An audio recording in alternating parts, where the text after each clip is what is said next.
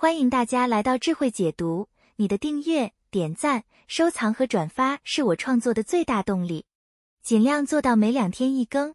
感谢大家的支持和信任。今天我要为你解读这本书是英国推理小说家柯南道尔的长篇小说《血字的研究》，也就是大名鼎鼎的福尔摩斯系列的第一部小说。柯南道尔以福尔摩斯为主角，一共创作了五十六部短篇小说和四部长篇小说，让谢洛克·福尔摩斯成为神探的代名词，也成为文学史和影视史上最广为人知的形象之一。福尔摩斯虽然是个虚构出来的人物，但是他却像一个真实存在的历史人物一样，对这个世界产生了影响。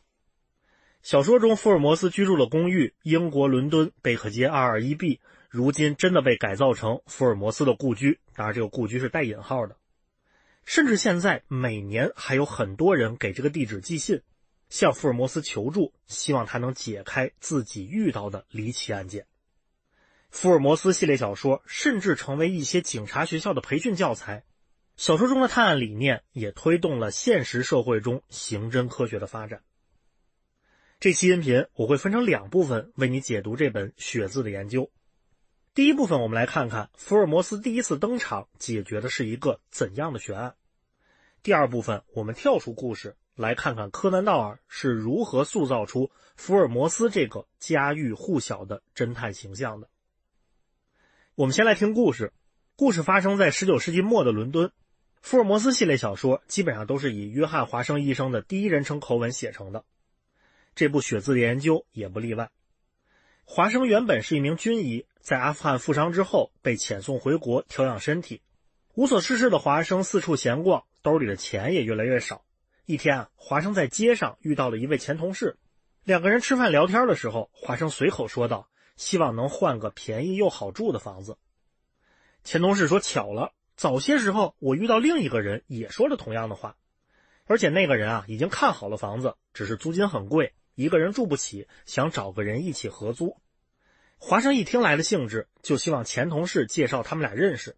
前同事倒是一再推脱，说那个人啊可是个怪人，如果你和他相处不好，千万可不要怪我。华生真是个妙人，他听完之后啊，反而更好奇，说一定要见见这一位怪人。于是啊，前同事带着华生来到一所医院的实验室，见到了谢洛克·福尔摩斯。福尔摩斯可真是个奇人，第一次见面，他只看了华生一眼，又和他握了握手。就断言华生一定去过阿富汗，而华生第一次见到福尔摩斯时，福尔摩斯正在捣鼓着蒸馏瓶和试管，欢呼地说：“啊，自己新发现了一种试剂，哪怕是水中只融合了一滴血，他都可以检验出来。”华生作为一名医生啊，都看不出来这种试剂到底有什么实用价值。福尔摩斯却说：“如果这个实验方法能早点被发现，很多罪犯就不会逍遥法外了。”虽然有点奇怪啊，但是华生并不感觉福尔摩斯是个难相处的人，于是两个人啊就一起搬进了贝克街二二一 B 的公寓，成为了室友。两个人相处的时间越长，华生的好奇心就越强。他根本弄不明白福尔摩斯到底是做什么工作的。他发现福尔摩斯有的时候闷头在实验室里做实验，有的时候呢则出没在伦敦最底层的贫民窟。有的时候啊，干脆就在家里坐上一天，一言不发，也一动不动。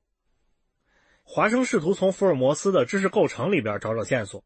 他总结后发现，福尔摩斯的文学、哲学、天文学和政治学知识都相当浅薄，甚至对于日心说都不太了解。但是他精通化学，而且有丰富的地质学、植物学、解剖学，还有法律知识，擅长棍棒、刀剑和拳术，还有小提琴拉的也特别好。华生完全想不出来，到底是什么样一份职业需要这么个知识结构。不过几天之后，在一次聊天中，福尔摩斯自己揭晓了答案。福尔摩斯说：“全世界可能只有他一个人从事这个职业，他是一个咨询侦探。不论是警察还是私人侦探，当他们遇到棘手的案件时，可以来找福尔摩斯咨询。福尔摩斯凭借自己高超的分析推理能力，帮助他们找到真相。”华生听完之后啊，当然感觉不可思议。于是福尔摩斯提到，两个人初次见面时，他只看一眼又握个手，就能确定华生去过阿富汗，实际上就是一次观察和推理的过程。因为福尔摩斯第一面见华生时啊，感觉他既有医生的风度，又有军人的气质，推断华生是一名军医。同时发现华生面容憔悴，左臂有点行动不便，看来是在战场上受了伤，回来休养。握手时又发现啊，华生手腕的皮肤黑白分明，那么显然是近期去过炎热地区。当时的英国军人会去的炎热战场也就只有阿富汗了。一番分析之后，华生对福尔摩斯信服了许多。不过他更好奇了，非常想看看福尔摩斯到底是怎么破案的。福尔摩斯也抱怨这一阵真的没有一桩让他感兴趣的疑案。就在这时，福尔摩斯接到了一封信，寄信人是一位探长，来自苏格兰场，也就是伦敦的警察总部。连华生都能推测出来，这一定是伦敦警方遇到了一桩棘手的案件。福尔摩斯和华生来到案发现场。这是一栋离街有点距离的空屋，屋外呢有出租马车的痕迹，屋门大开，屋子里也没有家具陈设，积累的尘土说明屋子多年没有人居住过了。地板上躺着死者，死者是一位男性，衣着整齐，表情狰狞，看起来死前经过了一番痛苦。不过死者身上没有伤痕，屋子里边也没有打斗的痕迹，死者的财物也都没有被拿走，可见啊不是抢劫杀人。警方从死者的衣服里边找到了他的名片，死者叫德雷伯，来自美国俄亥俄州克利夫兰市。此外呢，还有两封信，一封寄给死者，一封寄给他的秘书斯特兰森，是伦敦公司通知两个人轮船启程的日期。可见啊，死者和他的秘书最近准备乘船一起回美国。警察们在屋子里边还发现了一只女性的结婚戒指，以及墙上用鲜血写成的五个字母 R A C H E。探长给出了一番精妙的推理，这个精妙是带引号的，说这个结婚戒指很关键，证明这个案件与一个女人有关系。墙上这五个字母啊，就是这个女人的线索。写字的人呢，肯定是想写 R A C H E L，还没来得及写完，只写了前五个字母。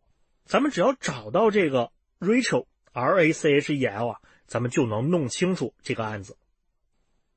福尔摩斯狠狠地嘲笑了探长。他说：“R A C H E 啊，在德语里边是复仇的意思。别浪费时间找什么 Rachel 女士了。”福尔摩斯对凶手给出了一番推测，包括身高、年龄，甚至是穿什么鞋、抽什么烟。警察们却对此不以为然。福尔摩斯只好自己展开调查。那这么一个案子，从哪里开始找线索呢？福尔摩斯决定啊，从那枚结婚戒指入手。他在报纸上登了一个失物招领的广告，说自己在马路边啊见到了这枚戒指。希望能把凶手或者他的同党引出来。第二天啊，果然有人找上门来，不过不是一位凶神恶煞的亡命徒，而是一位老太太。福尔摩斯认为这个老太太肯定跟案子有关系，于是呢，偷偷跟在后面尾随她。过了一阵儿啊，却无功而返。堂堂福尔摩斯竟然把线索给跟丢了。原来啊，老太太叫了一辆出租马车，福尔摩斯也叫了一辆马车紧随其后。可是到了目的地之后，前面的马车里边已经空无一人，福尔摩斯推测啊，这个人根本不是一个老太太，他一定是一个身手敏捷的小伙子伪装的。他在马车行进的过程当中跳车逃跑了。这番挫折没有让福尔摩斯感觉低落，遇到一个聪明的对手，让福尔摩斯反而更加兴奋起来。福尔摩斯知道，单靠他一个人在偌大个伦敦城里边找线索，那无异于是大海捞针。于是啊，他找来了一群帮手。让华生感到意外的是，这群帮手竟然是一群衣衫褴褛的流浪儿。福尔摩斯却跟华生说：“啊，这是贝克街侦缉小分队，千万不要小看这帮流浪儿，他们可比一般的侦探还厉害呢。因为他们可以去任何地方，别人对他们也没有任何戒心，所以什么事情都可以打听出来。”之后啊，探长带来了消息：死者的秘书斯特兰森被人在旅馆里边谋杀了。现场又发现了 R A C H E 的字样，在探长看来，案情变得更加扑朔迷离了。但是在福尔摩斯看来，最平淡无奇的犯罪反而是最神秘的。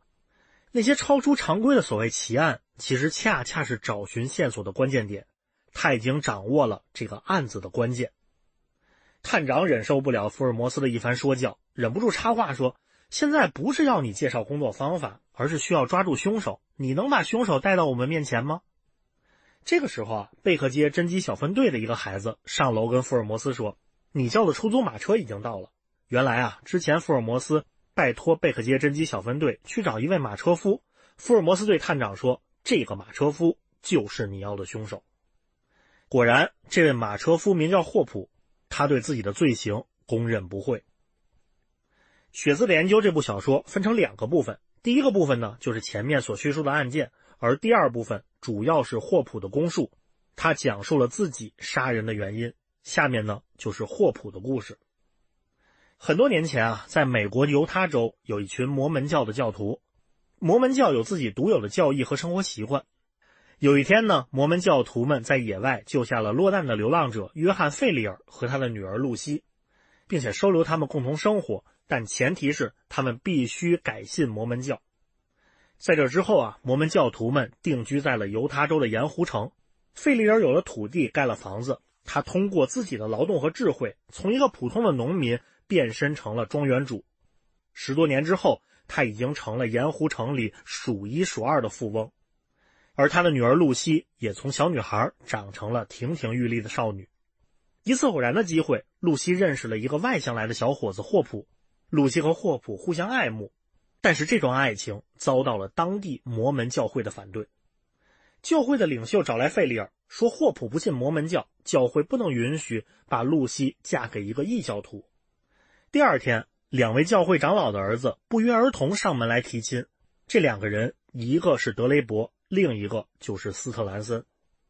当时的摩门教允许一夫多妻，德雷伯和斯特兰森都已经娶过好几位太太。费利尔当然不愿意让露西嫁给他们中的任何一个。问题是得罪了这两位教会长老的儿子，费利尔在盐湖城可就待不下去了。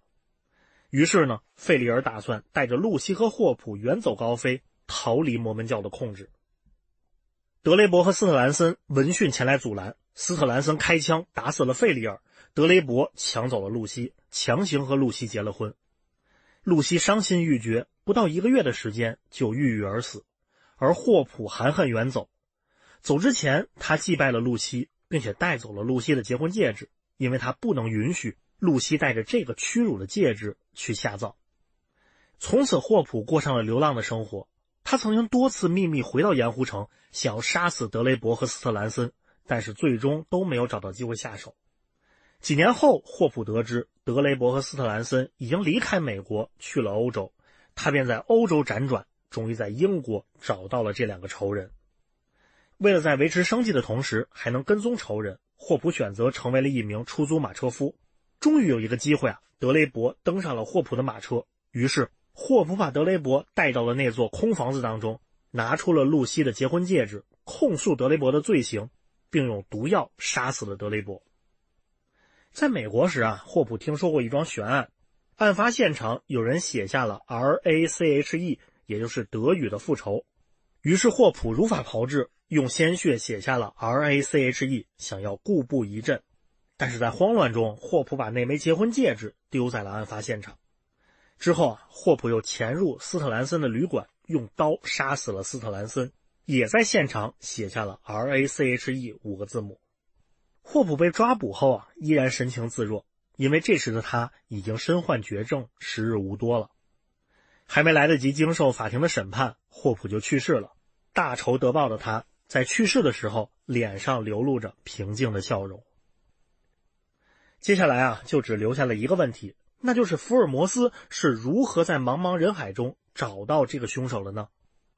福尔摩斯向华生复盘了自己的推理过程，就像福尔摩斯所说，所谓奇案，其实恰恰是找寻线索的关键点。凡是异乎寻常的事物，反而都是一种线索。这个案件中，第一个异乎寻常就是死者身上的东西一点都没少。福尔摩斯由此判定，这不是抢劫，很有可能是仇杀。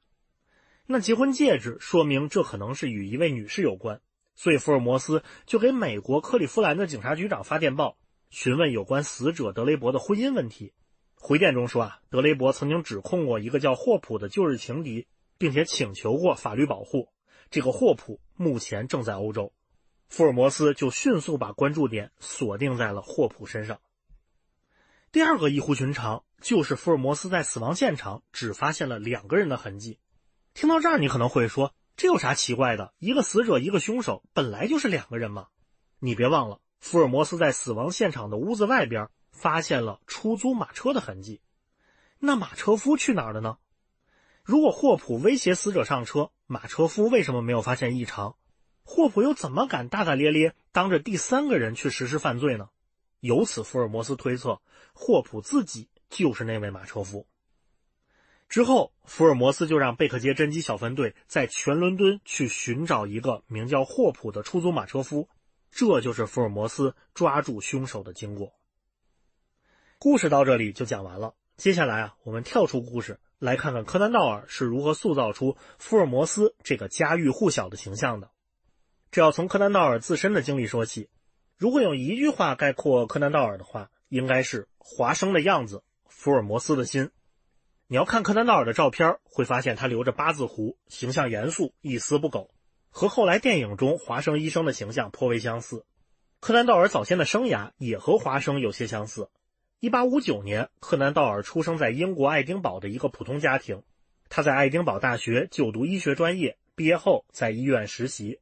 为了赚钱补贴家用，柯南道尔也有一番去海外冒险的经历。不过，不是像华生那样去当军医。而是在开往北极圈的捕鲸船上担任船医。一年后，柯南道尔回到英国，自己开办起了一家小诊所。不过，小诊所的收入并不多。同时呢，柯南道尔从小就有一个文学梦。为了实现自己的文学梦，也为了增加一些收入，柯南道尔开始了自己的写作生涯。柯南道尔的写作生涯起步并不算顺利。在血字的研究之前，他已经写过几部小说，但是都没获得什么反响。一八八六年初，柯南道尔开始写自己的第一部侦探小说，也就是这本《血字的研究》。四月份小说完成，柯南道尔却发现无处能发表。他把小说寄给杂志社，杂志社说小说太长，建议交给出版社出版。他又把小说寄给出版社，出版社却说这种水平的小说是不够格的。经过几次辗转，一家名叫《比顿圣诞年刊》的杂志决定以廉价文学的定位刊登小说。虽然对这个定位很不满意，但是柯南道尔还是接受了条件。血字的研究就在1887年冬天的一期《比顿圣诞年刊》上发表了。顺便说一句啊，如今这一期《比顿圣诞年刊》成为了稀世之宝，已知的存世量只有三十册左右。2007年，著名的苏富比拍卖行拍卖了一本当年的《比顿圣诞年刊》，成交价十五万六千美元，打破了单本杂志拍卖的世界纪录。只不过这会儿卖再多的钱都和柯南道尔没有关系了。当年的柯南道尔只获得了二十五英镑的稿酬，而且小说出版以后反响平平，柯南道尔自己也都有点灰心。没想到在两年之后，一家美国杂志社给柯南道尔来信，表示他们对血字的研究很感兴趣，他们想约柯南道尔再写一部福尔摩斯的小说。顺便说一句啊。当时这家美国杂志社的负责人还专门来到英国，请柯南道尔和另一位崭露头角的青年作家共进晚餐，向他们当面约稿。另一位青年作家就是后来大名鼎鼎的诗人奥斯卡·王尔德。正是这场晚餐，使得王尔德写出了他的小说代表作《道林·格雷的画像》，也使得柯南道尔写出了福尔摩斯的第二部长篇小说《四千名》。其实，柯南道尔在写《血字研究》时啊，还没有写系列小说的想法。这一次受出版社的邀请，他写出了另一部小说《四千名》，福尔摩斯才正式成为一个系列小说。在这之后啊，柯南道尔又在《海滨》杂志上发表了六篇福尔摩斯的短篇故事。这一次，柯南道尔真的借着福尔摩斯声名鹊起了。写《血字的研究》时，柯南道尔的稿酬是二十五英镑；在《海滨》杂志发表小说时，柯南道尔的稿酬是每个短篇三十英镑。当杂志编辑向柯南道尔约第二批故事时，柯南道尔干脆把稿酬涨到了每篇五十英镑。没有想到，杂志社干干脆脆就答应了。这个时候啊，柯南道尔写福尔摩斯系列已经写的有些厌烦了。等到杂志社再向他约稿的时候，他干脆开出了十二个故事、一千英镑的天价。他原本想用这样的方式婉拒杂志社，没有想到当天编辑就打来电报，完全接受。柯南道尔，只好继续创作。后来，这前十二个短篇和后十二个短篇分别结集出版，就是今天福尔摩斯系列中的冒险史和回忆录。经过血字的研究，《四千名》冒险史回忆录这四本书的努力，柯南道尔终于使福尔摩斯的形象深入人心。他的作品影响了后世所有的侦探小说作家，改变了侦探小说的历史，为侦探文学乃至世界文学的发展都做出了重要的贡献。一九零二年，柯南道尔被封为爵士。曾经有人说啊，福尔摩斯系列是世界上第一部侦探小说，这其实是不对的。就在雪字的研究中，柯南道尔借福尔摩斯之口就举出了之前的两部侦探小说，分别是美国作家爱伦坡的《摩格街凶杀案》和法国作家加波里奥的《勒考克侦探》。不过那时的侦探小说还不能算一个单独的门类，用今天的眼光来看，那时的侦探小说和恐怖小说、神秘小说、间谍小说混杂在一起。被统称为惊险文学，比如爱伦坡，按今天的文学类别，他既写侦探小说，也写恐怖小说。他的作品里边充满了离奇恐怖的事件，甚至还有死者复活这样的情节。柯南道尔十分喜欢爱伦坡的作品，在福尔摩斯系列之前，他就模仿爱伦坡的风格去写恐怖小说，这种风格一直延续到了血字的研究当中。黑暗的夜晚，无人的房间，离奇的死亡。处处都在渲染恐怖的气氛，但是可以说啊，直到福尔摩斯的系列，侦探小说和恐怖小说终于开始分家。侦探小说和恐怖小说虽然都常常描写死亡和犯罪，并且会渲染恐怖诡异的气氛，但是恐怖小说不太注重理性，小说中允许出现非自然的情节，而侦探小说则是坚持理性的，侦探手法和最终的解答都必须合乎逻辑。这是两者最大的不同，也是福尔摩斯系列最大的魅力。柯南道尔塑造了一个坚持用逻辑进行推理，并能解释各种奇特案件的侦探。小说中，福尔摩斯所说的逻辑，在逻辑学中叫做形式逻辑。这是一门很古老的科学，可以追溯到古希腊学者亚里士多德。亚里士多德发明的三段论系统是西方逻辑史上第一个逻辑系统。随后呢，斯多葛学派补充和发展了亚里士多德创立的逻辑体系。这之后的一千多年，逻辑学的发展几乎没有超越这个范畴。直到十七、十八和十九世纪，英国学者培根和穆勒又进一步丰富了这套体系，基本形成了今天的形式逻辑。福尔摩斯的推理就是基于这套逻辑体系。推理大致可以分成三类：演绎推理、归纳推理和类比推理。归纳推理是将大量个别的事实合在一起，总结出一个普遍的事实；类比推理则是将一个事实迁移到另一个类似的情境当中。福尔摩斯最擅长的则是演绎推理。用他自己的话来说，一个逻辑学家不需要亲眼见到或者听说过大西洋或尼亚加拉瀑布，他能从一滴水上推测出它有可能存在。所以，整个生活就是一个巨大的链条，只要见到其中的一环。整个链条的情况就可以推想出来了。福尔摩斯的探案方法基本可以分成三步：第一步，收集足够多的信息；第二步，根据已知的信息推理出所有的可能；第三步，由推理展开行动，得出更多信息，排除掉一些可能。举个例子啊，在小说《四千名》里边，福尔摩斯和华生有过一次闲聊，福尔摩斯准确的推理出华生刚刚出门去了一趟邮局。而且去邮局是为了发电报，那福尔摩斯是如何进行推理的呢？福尔摩斯注意到华生回来的时候鞋上沾了一块红色的泥，他之前已经知道整个伦敦只有邮局门口在修路会有这种颜色的泥土，由此他得出结论：华生去了一趟邮局。那华生去邮局干什么呢？福尔摩斯给出了三种猜想：第一种呢，当然是寄信；第二种啊，是去买邮票或者明信片。第三种则是去发电报，于是福尔摩斯回想更多的细节，一一验证每一种可能。他发现一上午啊，华生都没有写信，而且他们家中还有很多的邮票和明信片。由此啊，前两种可能性都被排除。他可以得出结论：华生是去邮局发电报。所以你看啊，排除法正是福尔摩斯演绎法当中重要的组成部分。福尔摩斯小说里边有一句名言。当你排除了所有不可能的因素后，剩下的东西无论多么不可思议，都必定是真实的。而所有这些推理都是基于充分的信息收集。在福尔摩斯系列中，警察常常被当作能力不足的反衬角色，而警方判断失误的主要原因就是在办案开始时，他们总希望用少量的事实就能推理出答案，之后啊又拒绝考虑那些跟他们立场相悖的材料。用福尔摩斯自己的话来说，小说里边的警察们啊是不知不觉的歪曲事实以适应理论，而不是使理论适应事实。福尔摩斯的这种思考方式与柯南道尔的医学训练有很大关系。在之后给福尔摩斯长篇小说集写的序言中，柯南道尔写道：“经过严格的医疗诊断训练后，我觉得如果将这种一丝不苟的观察和推理方法用于破案，可能会建立起更科学的系统。”这种完全基于事实和推理的思维方式，正是福尔摩斯这个人物最大的魅力所在。到这里，这本《血字的研究》其中精华的部分，我就为你解读完了。总结一下，《血字的研究》是柯南道尔第一部以福尔摩斯为主角的小说，讲述了一桩离奇的杀人案件。这桩案件的背后，是一段跨越英美两国前后将近四十年的情仇纠葛。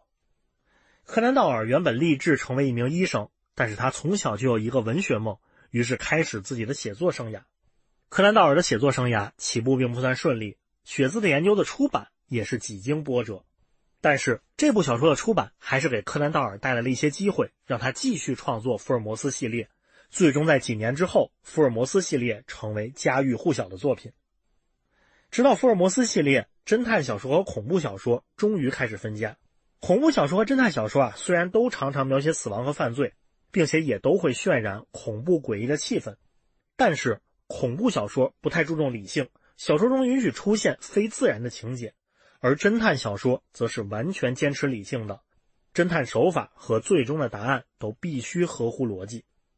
这种完全基于事实和逻辑的思维方式，正是福尔摩斯这个人物最大的魅力所在。